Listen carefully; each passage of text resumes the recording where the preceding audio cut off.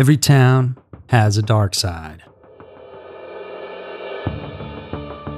Today, we're heading to Cache Creek Regional Park, which is in Yolo County, California, we learn about Rico Harris and the baffling disappearance of a basketball player.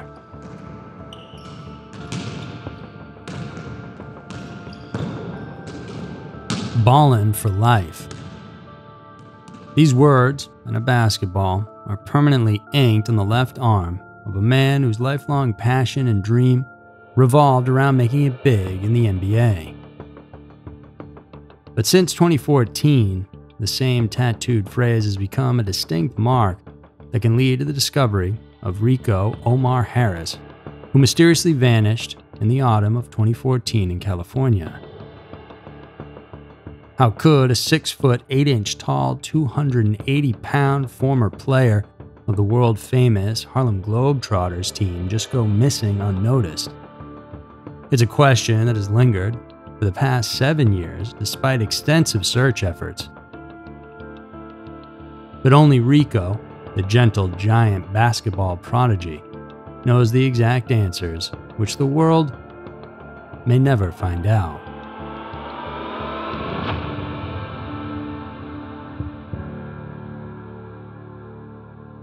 Hi, I'm Andrew Fitzgerald, bringing you another mind boggling story of disappearance in this week's episode of Every Town.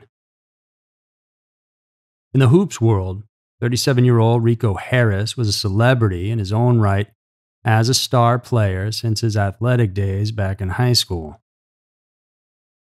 His biggest dream was derailed by an unexpected mishap, and as he was about to get a second lease on life, Rico vanished under questionable circumstances.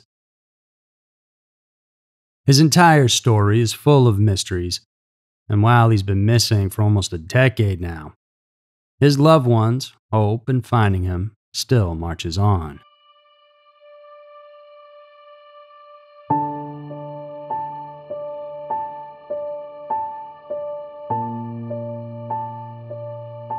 Life can be mysteriously unkind, and Rico Harris endured such a fate.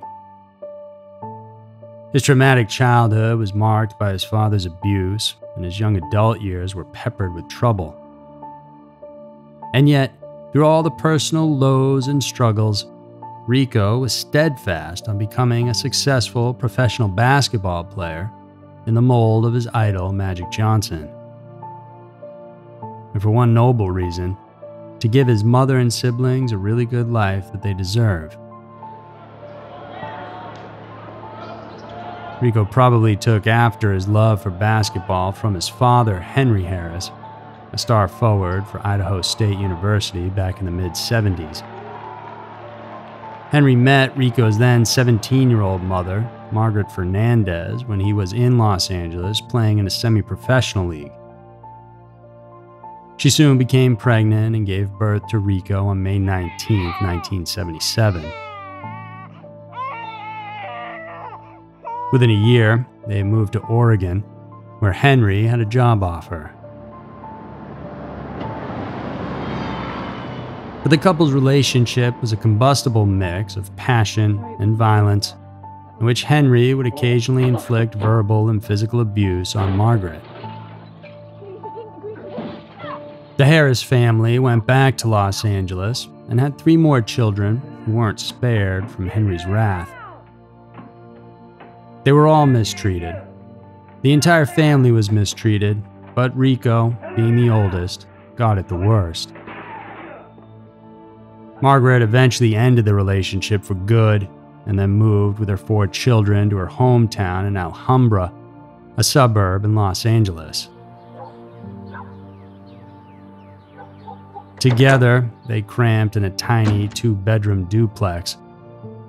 And as a single mom, Margaret struggled with a full time job, and she considered Rico as the glue that held the family together.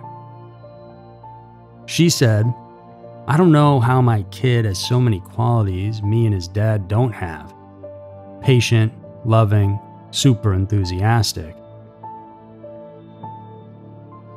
Early on, Margaret knew her son was born to play basketball, With his towering height and having a father who was a collegiate basketball player himself, Rico seemed destined to tread the same path and become great.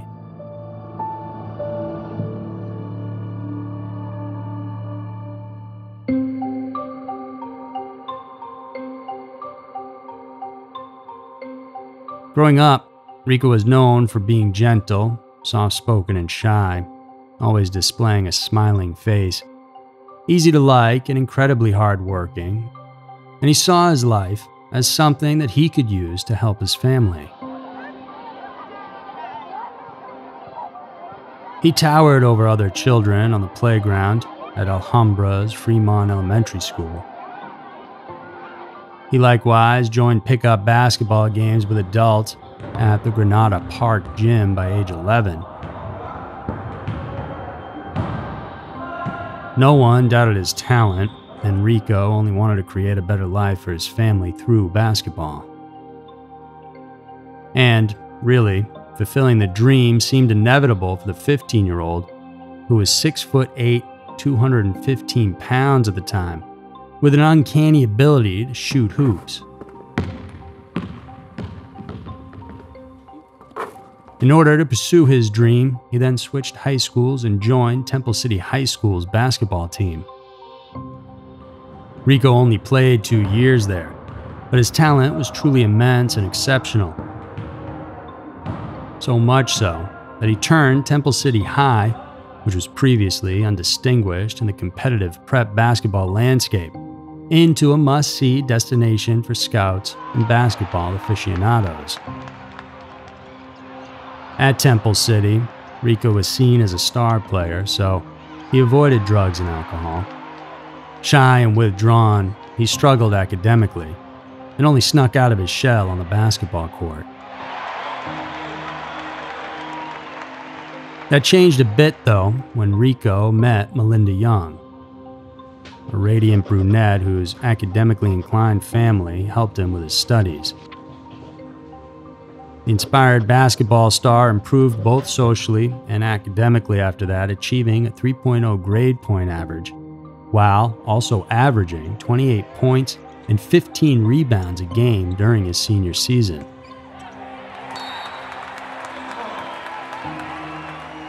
He was recognized by the Long Beach Press Telegram as one of the best high school players in the western United States during the 1994 95 season along with Chauncey Billups, Paul Pierce, and Jason Terry, all of whom went on to have long careers in the NBA.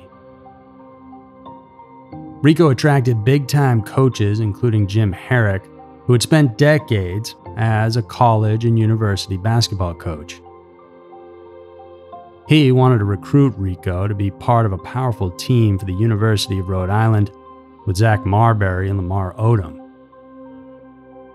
Sadly, though, Rico didn't do well at the Scholastic Aptitude Test, and the scholarship offer went kaput.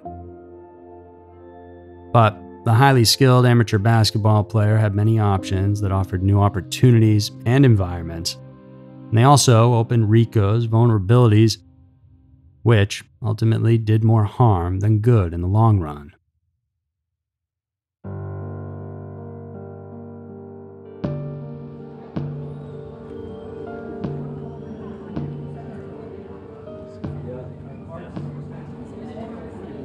After high school, Rico attended Arizona State University under Proposition 48, which limited him to taking classes during his freshman year in order to regain his eligibility. He had the opportunity to play for several Division I basketball programs, but never did due to the academic and personal setbacks. Without his family and friends close by, he again struggled academically and socially. In March of 1996, he was then arrested on a charge of unlawful imprisonment along with two teammates. See, they were accused of holding two women against their will and forcing them to perform sexual acts. While all three were arrested, Rico was the only one not accused of the more serious charge of sexual assault. All charges ultimately were later dropped when investigators uncovered inconsistencies in the women's stories. Nonetheless, though, ASU officials asked Rico to sit out another basketball season, but he refused. Deeply embarrassed, he returned home to be close to his mom and girlfriend Melinda, and that's when he enrolled at Los Angeles City College, a two year community college with a renewed focus and hope for a fresh start. He hoped to improve his academic performance and once again become eligible to play for the University of Rhode Island under Coach Harrick. And Rico amazingly delivered the goods for LACC. He was the team's biggest star, averaging 16.5 points and 14 rebounds a game. All this culminated during the 1996 97 season when LACC won its first ever California Community College Athletic Association state title, and Rico was the unanimous championship tournament's MVP.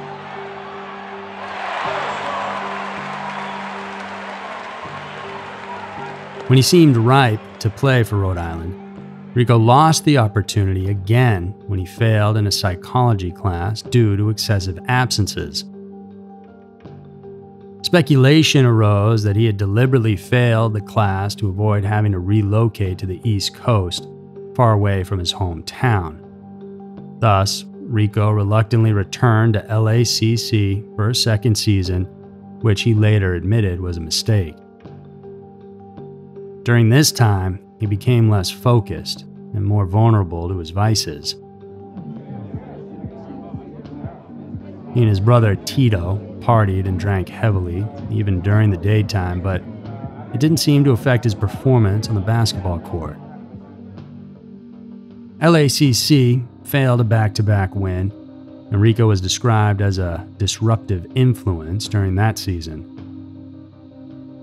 As a consequence of his increasing drinking sprees, he was suspended for six games, got alienated from his friends and teammates, and then broke up with his girlfriend Melinda.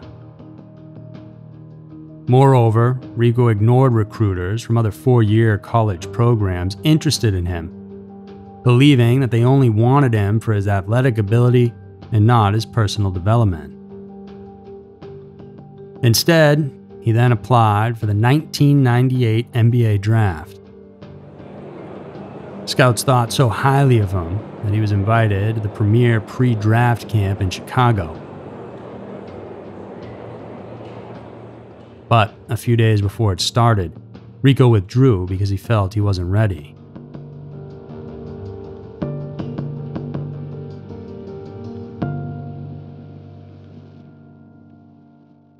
So it was back to school, and when everybody thought that he'd finally be joining Rhode Island, Rico sprung a surprise by joining California State University.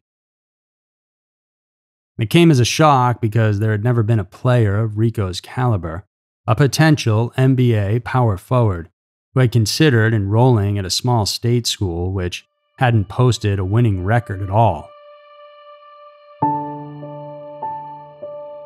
Hopes were high, but Rico sadly fell short of the expectations as he continued heavily drinking and having underlying emotional difficulties, especially his failed attempts to reconcile with his father, which ultimately got the better of him. He got suspended a few times, and a contusion in his pelvis sidelined him for five games. Many observers, including his previous coaches, felt that Rico was sabotaging his own NBA prospects as the team scouts saw his downward turn and eventually stopped altogether coming to his games.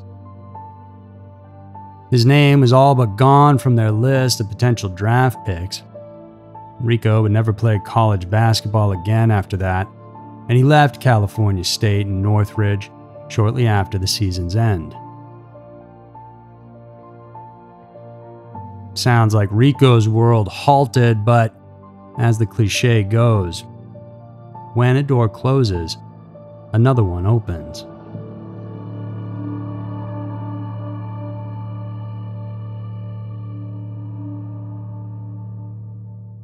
The NBA dream for Rico Harris seemed almost lost forever as he dabbled shortly in the International Basketball League while sobering up and perfecting his jump shot. Then, in the spring of 2000, an opportunity to be a part of the American exhibition basketball team, the Harlem Globetrotters, came his way. It wasn't big time NBA, but it suited his skills, and Rico soon found his niche. But then, just a month after warming up the Globetrotters, Rico figured into a mishap.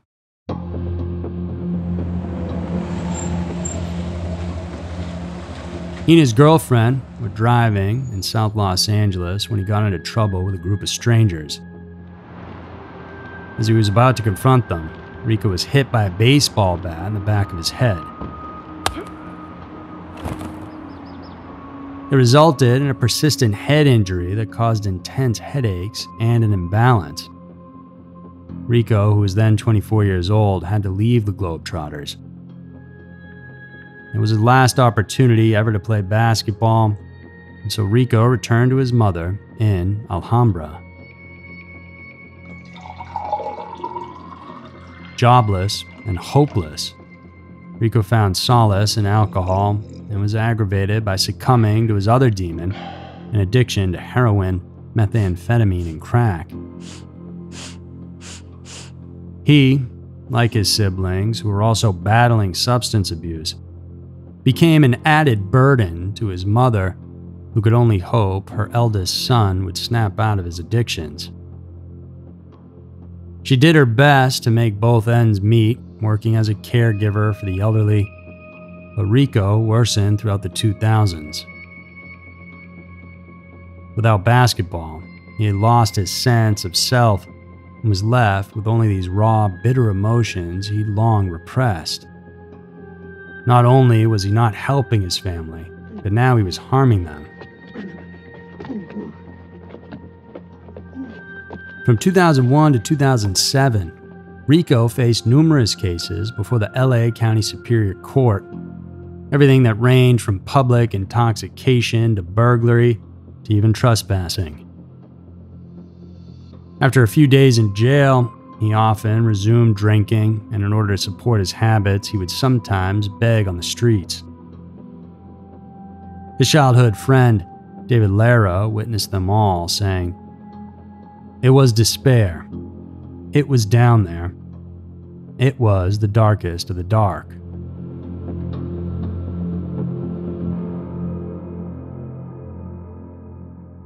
Efforts to dissuade him from treading this destructive path seem to have worked in 2007.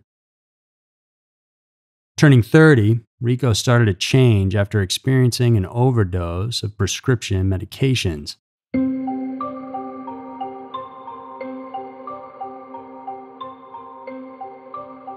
thanks to the long, arduous, but successful program offered by the Salvation Army's Adult Rehabilitation Facility in downtown Los Angeles. Rico seemed to have recovered after finishing the program. He wanted to turn over a new leaf and rebuild his life. He then worked at the Salvation Army soup kitchen to help prepare the meals for the clinic's hundreds of patients, making him feel needed and giving him a purpose.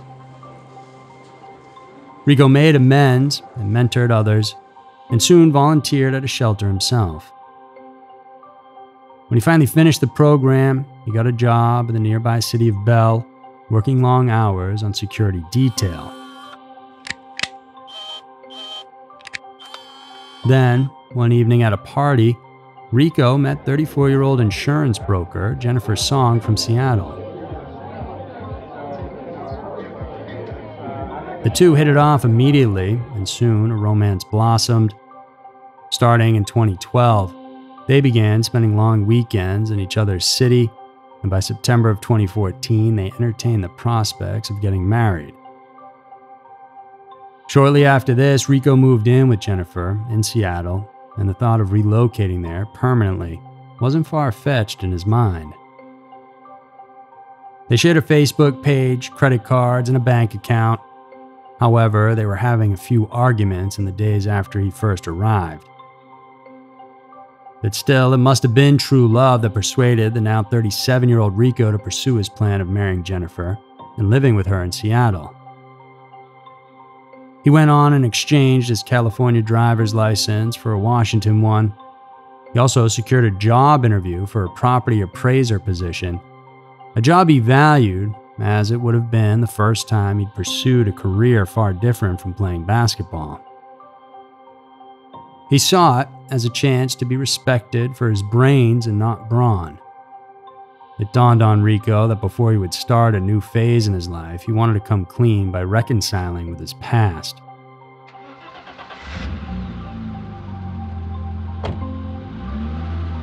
So, he drove 1,100 miles to Alhambra from Seattle to visit his mother and closest brother and find closure about lingering family issues. Jennifer said, I think he realized some things and he wanted to talk to her.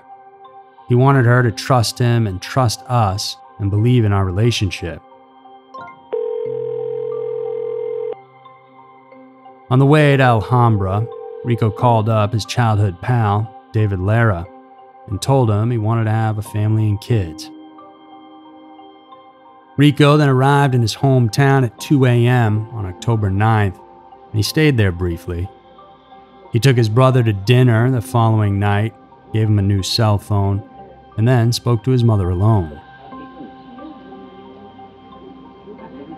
Perhaps he was hoping to cut the cord from his youth, but when he left, he didn't seem to be a man who had exorcised any past demons. His mother said, The last conversation with me, he wasn't in a good place and he had to clear his mind.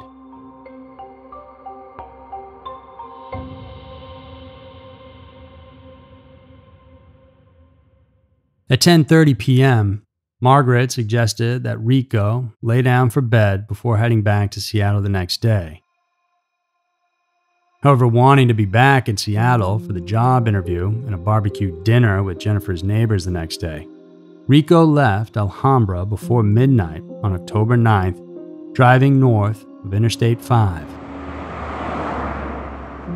By 1 a.m. on October 10th, he contacted Jennifer while driving, and they chatted for three to four hours, during which Jennifer grew concerned of Rico's state of mind, as he'd been awake for nearly 40 hours by that time. Jennifer called up Rico when she woke up at 8 a.m and learned that he was near Sacramento, fueling up. After making a wrong turn, Rico corrected himself and passed north through Sacramento, eventually curling onto Route 16 until he was enveloped by the Capay Hills. When the sun reached its apex, he found a rest stop and finally pulled over. Meanwhile, Margaret and Jennifer both kept checking in on Rico, but they didn't receive an answer. By 10:44 a.m., Rico texted Jennifer to apologize for missing her call and left a message saying that he was going up into the mountains to rest. Since he hadn't slept much since leaving Seattle. Jennifer tried to stay calm but still found herself worrying. At 11:15 a.m., Rico turned off his phone. So Jennifer's numerous calls went unanswered. Since October 10th, 2014, no one has heard from Rico, and the gentle giant appears to have vanished into thin air.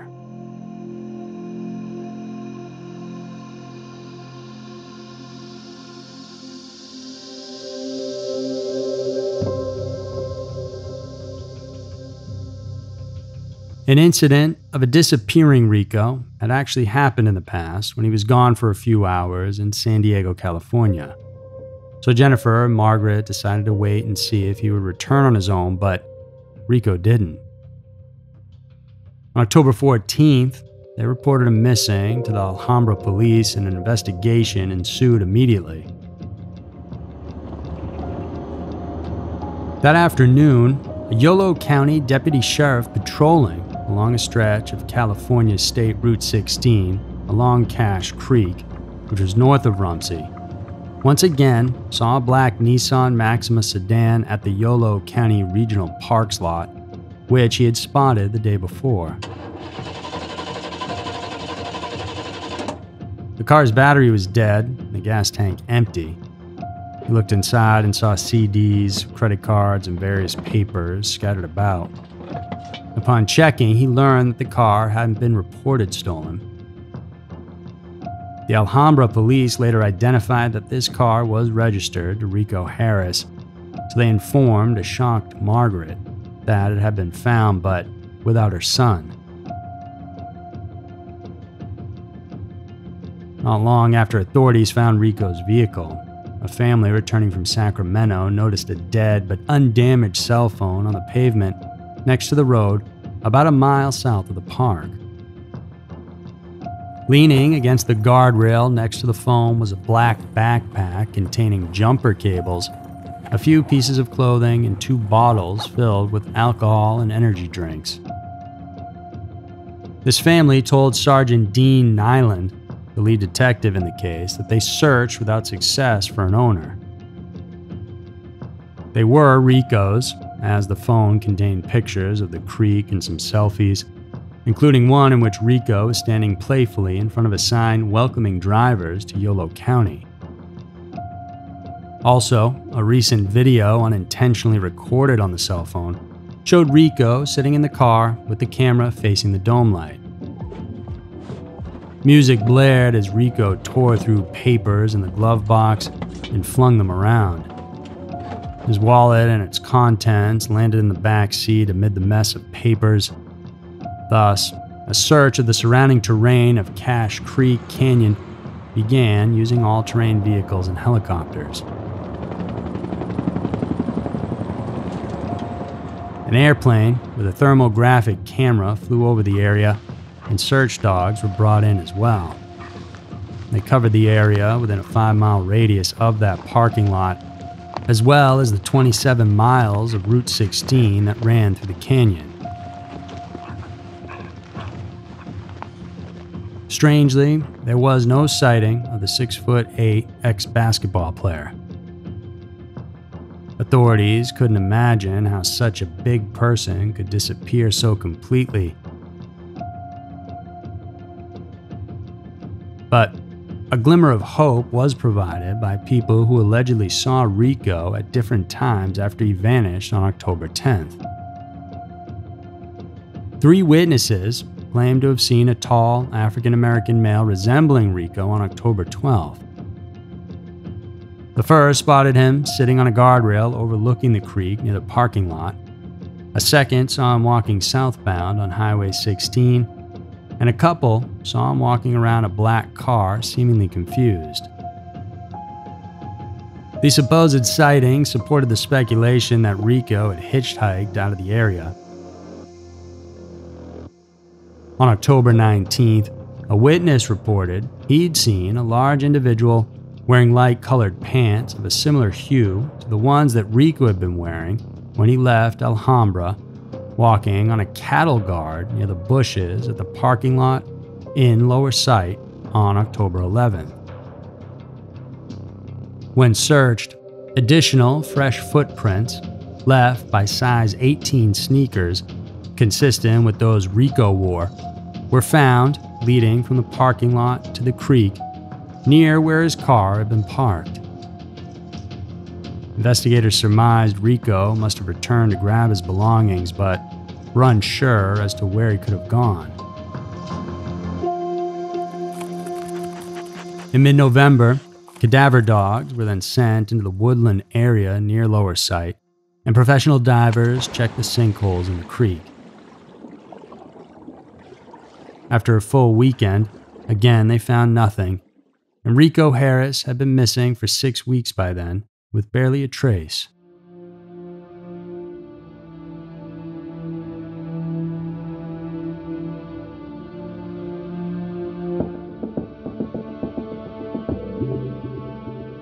Detective Dean Nyland has ruled out the possibility of foul play or robbery in Rico Harris's disappearance. His phone's photo and video content suggested he came to Yolo County voluntarily and alone. There wasn't evidence of any kind of a struggle. He presumed Rico may have left his backpack and phone either accidentally or purposefully to avoid being tracked via the phone. It's also plausible that Rico found solace in the hills of Yolo County, felt like a free man, and decided not to proceed to Seattle just yet. After wandering the area for a few days, Rico returned to his car and found it gone, and Detective Nyland speculated that at that point, he either walked away into the woods or towards another town. But what happened after that? It seems like a dead end, but not for Rico's dear mom, for whom he dreamt of building a better life through his talent in playing basketball. Rico, you are not forgotten ever. I am not giving up on finding my son. A grieving yet hopeful Margaret said.